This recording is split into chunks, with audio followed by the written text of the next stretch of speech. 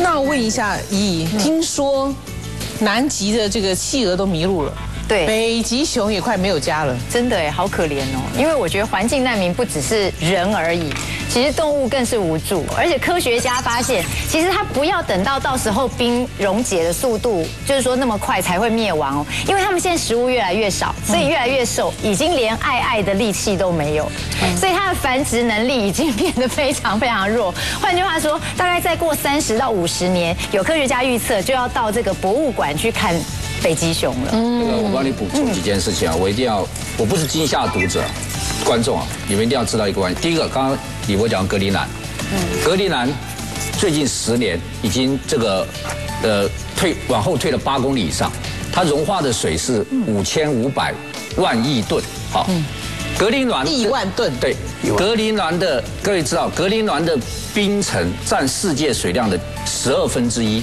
如果格陵兰整个整个淹没之后，嗯，格陵兰整个淹没之后造成什么结果？我告诉你，你可以在台北火车站游泳，整个台南市、台南县全部在水里边。对，我们也我们台北城内陆湖我们这第一个有做做过一个这个电脑模拟哎，电脑模拟是台大做的。我上次那个汪汪中和有有拿出来看过，就是台湾大概有百分之三十八的陆地已经没有了，什么台南啊、嘉南平原已所以我经没有们到了中央山脉上去做国民大会台北我现在住在十一楼会怎其？实没有，我觉得美人台，我们这边还算是还已经不是首当其冲的。我们是在八年前呢，是第一个无人岛哦，已经淹没掉了。可是最近呢，印度的一个大学呢，他们已经在十月十八号在卫星上看到第一个有人岛，那上面的居民有一万人。对然后那个岛叫做哈达拉哈达哈拉岛，那个岛已经淹没掉了哈哈岛。对，已经全部都太平洋淹没掉了。岛国啊，百分之九十都灭顶。好，第二个我讲了北极，现在北极是全世界最人类浩劫的开始。嗯嗯，北极现在科学家已经测到了，它的那个甲烷的浓度是一百倍，什么意思？它的冷冷冻层下面四百公里是全世界最大的甲烷层，假如那个融化，那甲烷上来，甲烷是二氧化碳的二十九倍，就它污染的程度是这样二甲十九倍。烷很严重吗？不就是牛的屁吗？哇，就是牛的屁。所以我告诉你，一头牛比，因为它放屁跟那个放大量，它比车子污染五倍。一不一头牛比一头，我告诉你啊，那甲烷万一爆炸会怎么样？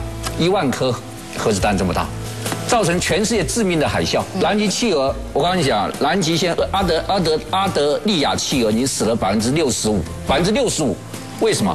一个是他们已经吃不到西虾了，第二个，南极现在都是暴风雨。嗯嗯。企鹅出生四十天之内，它可以躲寒，但是不能躲雨。嗯嗯，水把它弄一弄湿，它就晚上就冻死了。嗯，对，纽西兰有个凤冠企鹅，嗯本来调查有一百五十万只，现在剩多少只？剩十万只。嗯，哇，你知道多可怕？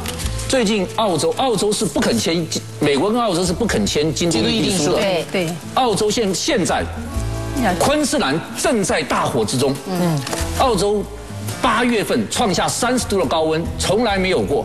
好、澳澳洲冬天晚上居然有出现过十二度高温，都是历史记录。嗯，我最痛心是无澳洲的无尾熊。无尾熊是不喝水的，你知道？所以无尾熊不喝水没有关系啊。为什么？它靠吃尤加利树里面的水，水对不对？嗯，无尾熊的土语的意思就是说无水动物。嗯，现在那个尤加利树没水了，我告诉你，无尾熊怎么办？现这次澳洲昆山大火，现在已经烧死了一百多只无尾熊，这还不算。无尾熊现在要跑到游泳池里面去喝水，要去狗跟狗抢水。嗯，然后过马路，澳洲现在已经统计，光过马路被车撞死的无尾熊，到目前一百多只。掉了游泳池里面淹死的，还有被跟狗桥水被狗为什么这么。小气？不送一些来台北市立动物园？他们现在无尾熊要到人类那边去争水喝来，你知道吗？这个情况就很严重了。这就你说，因为无尾熊的土土语名字是无无水之熊无水因为熊。因为整个暖化的结果，刚才讲到北极熊啊，北极熊它没有办法跑得很快去抓动物，对，嗯，它是要靠那个动物封到冰里头，像那个呃小的海豹在冰里头，它要上来呼吸，它就守到那个口就可以把它抓出来，它不要跑，嗯，当它用跑的时候，它跑不过任何东西，嗯，当它用游泳对，它当它游泳的话，它游不过任何海里的动物，嗯，所以就会饿死。这个因为它没有办法。那那这个是比较大的物种，可是问一下杨贤英，就是家庭主妇有没有感受到气候暖化的问题？家庭主妇根本都不晓得要炒什么菜呀、嗯，比方说这个季节到了，该吃什么鱼有没有？我们会吃到什么？根本都没有，你只有吃上菜市场去选择。嗯，就是有时候该不是这个，像现在还有西瓜，你知道吗？嗯，西瓜还是量产，还很多，还很新鲜。我现在还有丝瓜嘞。丝瓜对我才讲丝瓜小时候丝瓜是丝瓜那个七八月的时候，嗯你会觉得丝瓜现在还在量产。嗯嗯，呃，五条五十块还买得到，苦瓜、丝瓜，所有东西都全部物种都乱了，你就觉得很那个季节对的菜，它就是甜，对不对？对。哈？而且你不用费它太大劲就可以种，对不对因为那个？季节出来的东西是适合我们人体这个时候的体质吃的嘛，对不对？那提早出来或晚出来，你会觉得说跟人的身体就是不一样。你说像现在这种天气，你叫我吃西瓜，我就觉得很凉很奇怪，怪怪的西瓜、丝瓜、苦瓜多凉凉的，可是现在就是量产的盛产的时候啊而且，就整个就是乱的。所有植物也好，动物也好，完全都没有办法去适应这个环境。大家都在试着去适应这个环境，嗯连植物都在试着去适应这个环境。那当这个是暖化的结果，植物不需要太多水的时候，这个水就会越来越少。是，所以我们的所以我们的天气就受到暖化的影响，不是干旱就是大雨。大雨大水，对对？大家都说，哎，暖化跟干旱有什么关系？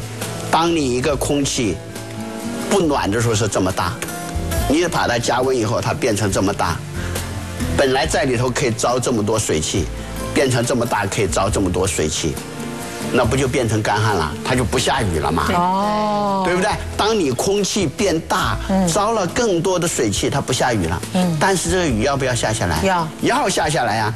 下下来就是好大雨。